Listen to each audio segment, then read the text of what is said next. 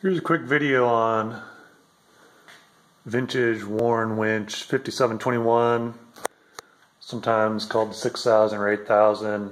Uh, sold previous to that under the Bellevue name. Um, my son and I recently bought a Jeep project vehicle.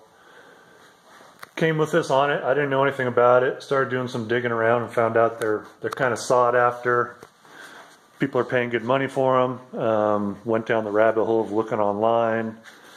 Found out the biggest questions are um, where to find a motor and where to find new brake shoes. So here's what I found. As you can see, I've got a new motor on mine.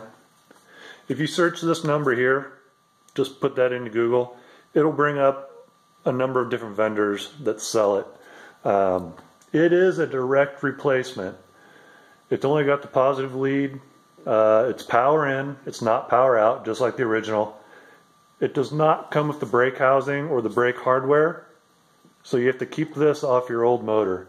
Um, but other than that, this thing amazingly completely bolts straight to the motor. Everything is correct. The bolts are the right length.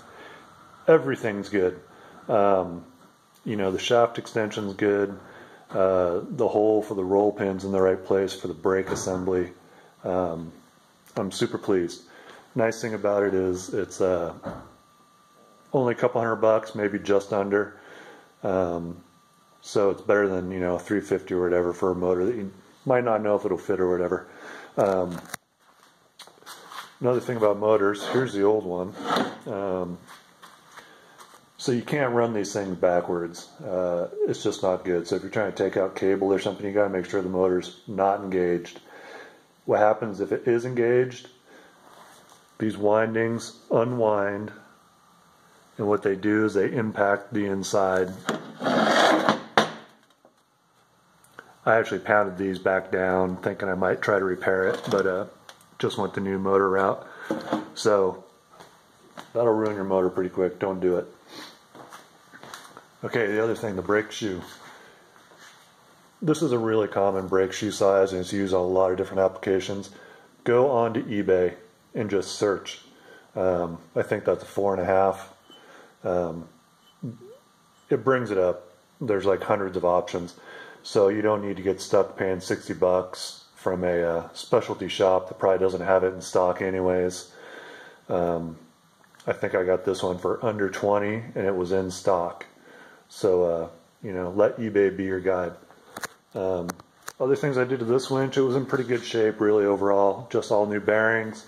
Um, I went ahead and put um, Oilite high pressure bearing bearings for the bushings in here instead of plastic. Added a Zerk on this side, um, replaced the seals. Um, and then let me get the Fairlead over here out of my pile of junk.